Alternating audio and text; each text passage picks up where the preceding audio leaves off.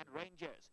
Weather conditions in Paisley ideal for football, bright sunshine, but a definite nip in the air, a sign that winter is upon us.